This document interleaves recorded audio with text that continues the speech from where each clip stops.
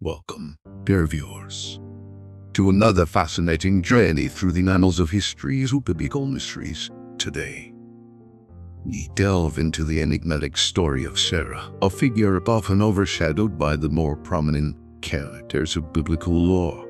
But who was Sarah? Why does her tale remain shrouded in obscurity amidst the grand narrative of Christianity? To understand Sarah's significance, we must first unravel the compelling narrative surrounding her parents, Jesus Christ and Mary Magdalene. In the early Christian texts, Mary Magdalene is depicted not only as a devoted follower of Jesus, but also as his companion, and, according to some accounts, his wife. These narratives, although not included in the canonical Gospels, present a fascinating perspective on the life of Jesus and the role of women in the Christian community. Indeed, Mary Magdalene's closeness to Jesus is highlighted by her prominence in the New Testament, where she often appears ahead of even Mary, the mother of Jesus, in lists of female disciples. That, alongside these accounts, whispers of jealousy among some of the apostles towards Magdalene hint at a complex web of relationships and emotions within the early Christian movement. The famous wedding at Cana, immortalized in the scriptures, has been interpreted by some scholars as symbolic of the union between Jesus and Mary Magdalene, adding another layer of intrigue to their relationship.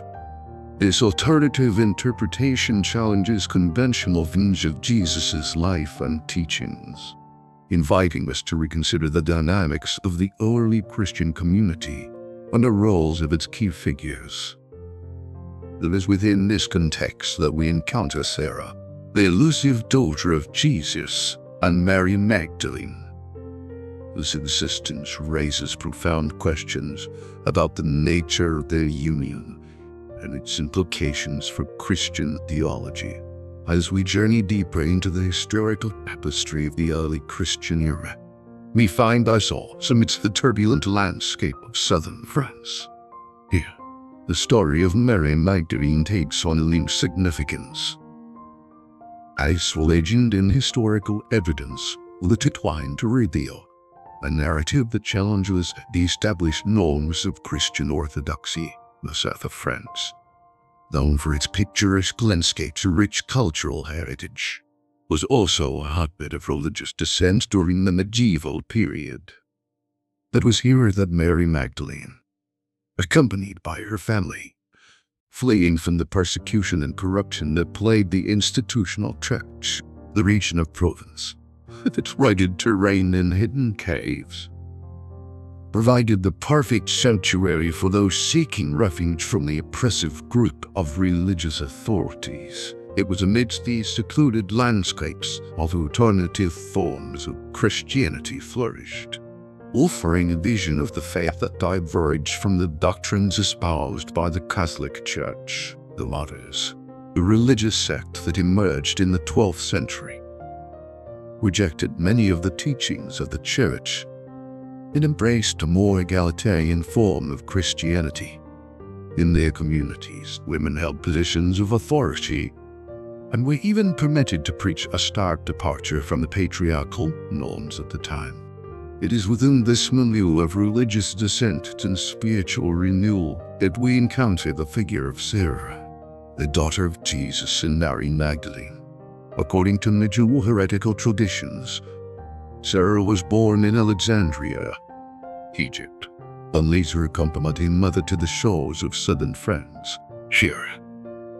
Amidst the rendered beauty of the Mediterranean coastline, Sarah's story takes on a mythical quality as she becomes intertwined with the legends of the region. Some accounts suggest that Sarah was revered as a symbol of divine lineage, embodying the legacy of her illustrious parents and carrying forward their message of love and redemption.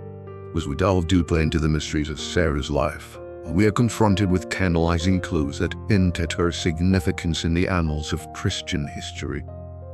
From the annual celebrations in Marys of the Sea to the enigmatic legends of the Black Madonna, Sarah's presence looms large in the cultural landscape of southern France. Despite these tantalizing glimpses into her story, much about Sarah remains shrouded in mystery. You wish to ponder the true extent of her role in shaping a destiny Christianity.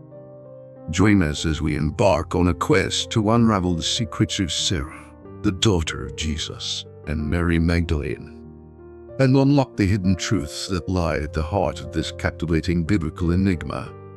As our journey through the mysterious story of Sarah, the daughter of Jesus and Mary Magdalene, draws to a close, we are left with more questions than answers. The tale of Sarah fit nearly a footnote to the annals of history but a profound enigma. What challenges our understanding of Christianity and its foundation figures? From the whispers of our existence in medieval texts to the tantalizing truths scattered across the landscapes of southern France.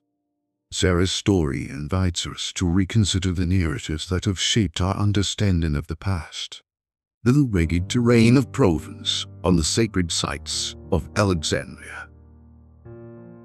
The glimpse of world where faith and legend intertwine, where the boundaries between history and myth blur, and where the legacy of Jesus and Mary Magdalene continues to inspire seekers of truth and enlightenment.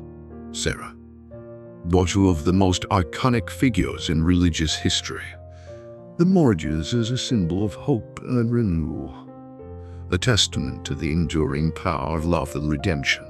As we reflect on the journey we've undertaken, we are reminded that the quest for knowledge is never-ending, and the mysteries of the past continue to beckon us with their timeless lore.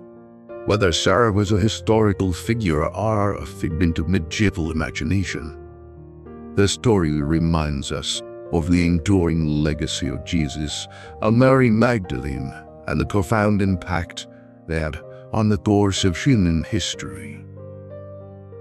Join us next time as we continue to explore the hidden secrets of the past and unravel the enigmatic mysteries that lie at the heart of our shared heritage. Until then, may your search for truth guide us on our journey through the corridors of time.